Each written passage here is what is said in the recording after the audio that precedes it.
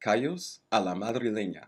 This is a traditional Spanish dish that has been eaten in the province of Madrid since at least the late 16th century. Callos was originally a dish eaten by the lower class. The ingredients tend to include things that are considered casqueria. Casqueria includes parts of animals that most people typically don't want to eat. Snouts, trotters, ears, intestines. These sorts of things are casqueria. The most important ingredient of callos is tripe. Tripe is cow stomach.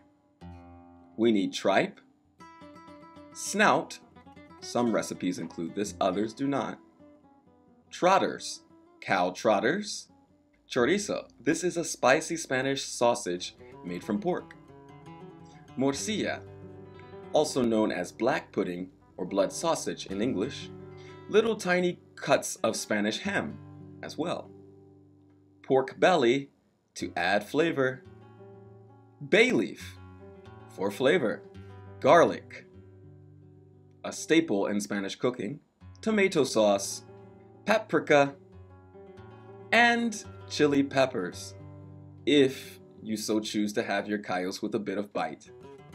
Around Spain, you can also find callos served with chickpeas as well. This is a dish that needs lots of time and preparation.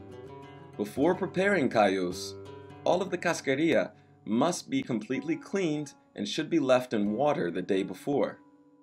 The next day, when everything is cooking together, it'll cook for about four hours together. I remember my first time trying callos. I was in the home of a Spanish family who had planned on serving it for dinner, but I had never heard of this. I didn't know what it was.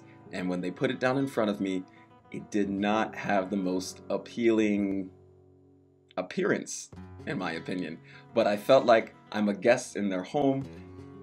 I can't tell them I'm not going to eat this, so I did my best. I started to eat it.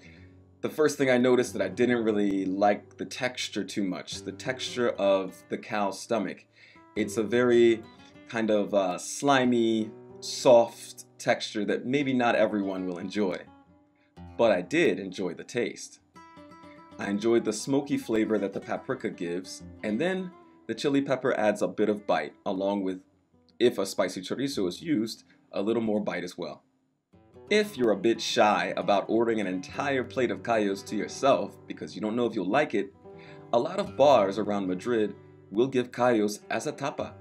You have to find one that has prepared it that day, but you could have a little on a plate for the price of your beer or your glass of wine. Give it a try. Thank you for joining me today to learn a little bit more about strange and interesting foods here in Spain. See you next time. And don't forget to subscribe. See ya.